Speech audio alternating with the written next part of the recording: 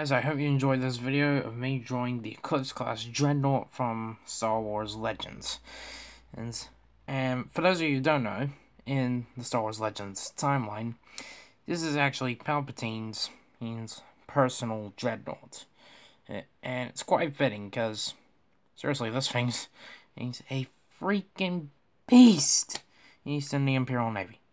And yeah, I think that's pretty much it. So, please hit that subscribe button followed by notification bell will stay up to date for whenever I upload. Also, if you have an idea for a video, then please write it down in the comments. And I'd like to hear what you guys have in mind. And with that out of the way, I'll see you in the next video. Bye bye!